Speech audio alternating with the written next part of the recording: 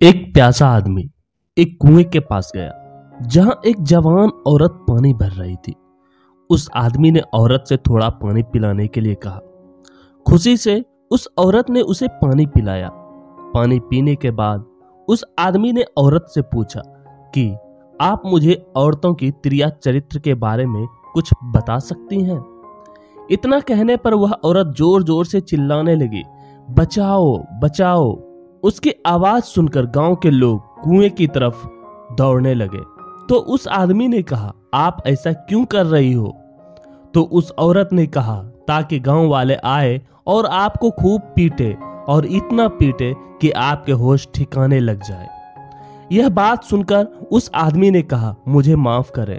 मैं तो आपको एक भली और इज्जतदार औरत समझ रहा था।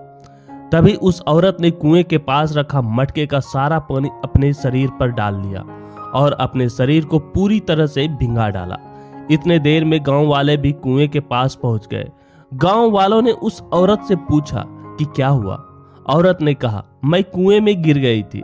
इस भले आदमी ने मुझको बचा लिया।